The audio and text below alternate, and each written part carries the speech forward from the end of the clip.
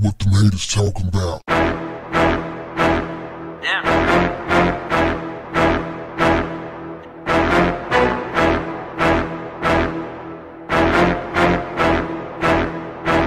What's up, family? In 2017, an Atlanta teenager crashed her vehicle into three pedestrians, including an infant child. She was sentenced to 36 months of hard probation. 18 year old Zoe Reardon reared her head into a courtroom on Monday morning and entered a plea to a misdemeanor, with her attorney saying she did not want to put the victim's family through a trial. Reardon could have faced 36 months behind bars. Instead, she was served probation and check in from Texas where she currently attends college. But there's more. She will also get her license back after one year. She'll pay a fine and donate to a foundation centered around combating distracted driving. Under first offender status, her record will be cleared when she completes the sentence. This is what the judge told her. You're pretty young you got a lifetime ahead of you. I expect this is something you're going to have a hard time dealing with the rest of your life. Wow. Check this out, y'all. It gets deeper. Cherokee County authorities initially closed the case and said that Reardon would not be charged, but it was reopened in the midst of a civil litigation against the city of Woodstock where the group died is centered around a lack of pedestrian measures in place around an entertainment pavilion where the victims were headed to see a concert. Reardon has maintained she never saw the group crossing the road that evening, and her defense has highlighted forensics to punctuate this was not a distracted driving case. If it's not a distracted driving case, why is she donating money to a foundation centered around combating distracted driving. Why, these people are something else. And how did you kill three people and it only be a misdemeanor punishable by up to three years in prison? Wow, I didn't know that Georgia laws were so lenient. Maybe I need to move to Georgia absolutely amazing. She's a grown woman who is driving a vehicle and who should be held responsible for her actions.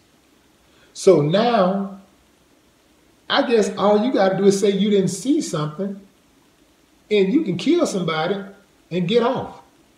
That's kind of like the I fear for my life defense it works 1000% of the time because only you can know for sure if you feared something.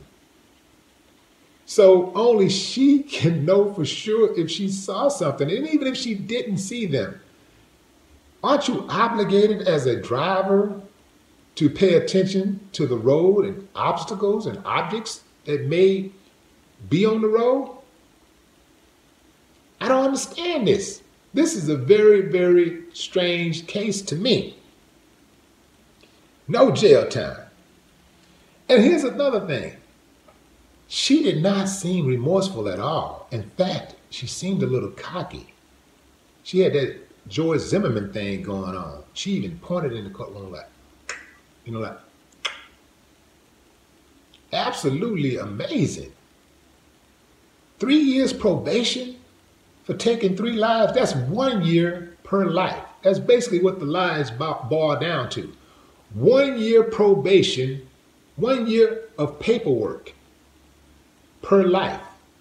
That's basically what they're telling the family, the survivors, that each of those lives were worth.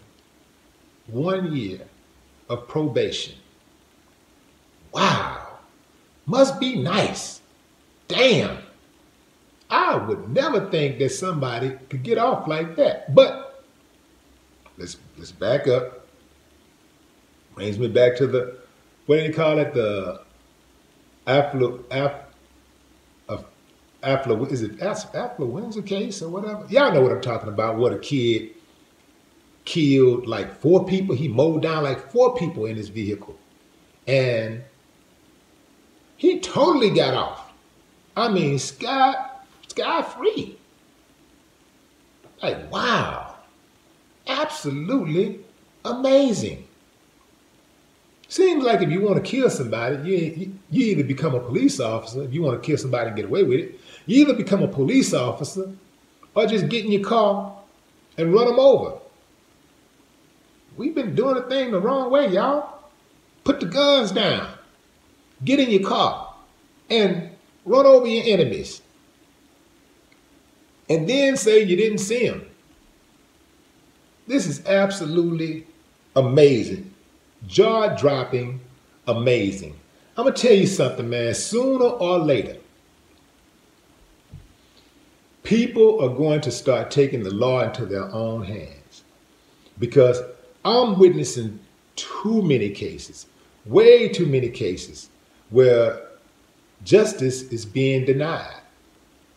These judges, they got to go.